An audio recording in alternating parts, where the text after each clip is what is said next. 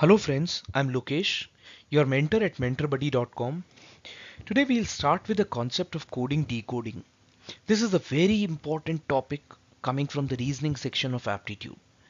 And many a time students face difficulty in answering this question. Not that the question is difficult, but sometimes it takes more time than required. Or sometimes the student out of complacency solve this question very quickly and answer it probably wrong.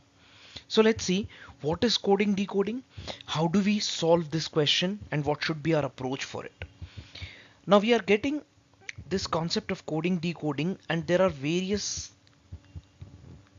variety of questions that we usually have in this. For example, there are certain questions wherein we will be talking only in terms of alphabets. So the first thing that I expect is you should be writing alphabets from A to Z. Whenever we approach a question, or in fact a question paper is in front of us, we should be writing alphabets right from A to Z a, B, C, D, E, F, G, H, I, J, K, L, M, N, O, P, Q, R, S, T, U, V, W, X, Y, and Z. Not only this will help, but you have to also write numbers from 1 to 26 alongside of the alphabets I'm sorry 4 5 6 7 8 9 10 11 12 13 14 15 16 17 18 19 20 21 22 23 24 25 and the last one is 26 now some of you may think that uh, why are we doing such a time consuming activity? It is certainly time consuming but i'm advising you to write such alphabets and numbers before you begin with the paper probably.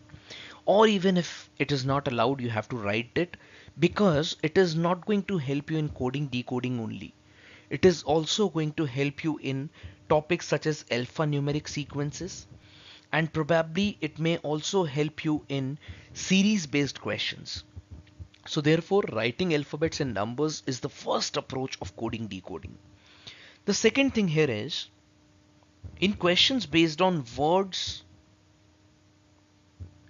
and their codes the sequence of the word and the codes would be same is absolutely incorrect. That means for example if I write I am a boy. And if suppose the codes are given as C H A N B Q R T that does not mean I stands for CH so the sequence has nothing to do with the coding and the decoding segment of coding decoding part. Also when we get questions like this we do comparison method or we start following comparison technique. So we start comparing the words and their respective codes and look for the common word. For example, if I have one more common, in fact, one more sentence for it, boy is gone. And for example, the codes here are a L B Q R S. Now what happens here is if I compare these two sequences I see that there is only one word common and that is boy and also in the codes there is only one code that is common that is BQ which clearly means boy stands for BQ. So this is how we approach uh, certain questions of coding decoding. Other than that, most of the questions will have alphabets and numbers in the series and we have to understand the pattern and accordingly proceed with the question. We'll see some more examples of coding decoding pattern and the concepts in the coming videos. So I would suggest you to go through all the videos of the series to understand it better and have a command over the topic because this is a scoring topic in all the examinations. It looks like a easy topic and it is a easy topic but as I said in the beginning people get complacent people get very casual in an approach for the questions. So we have to be a little careful especially with the questions wherein one of the option is can't be determined or data inadequate?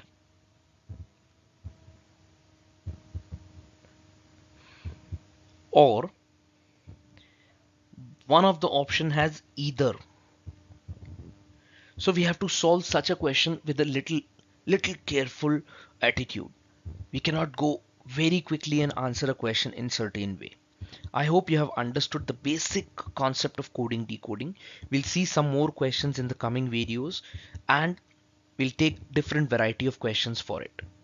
Thank you all for watching the video.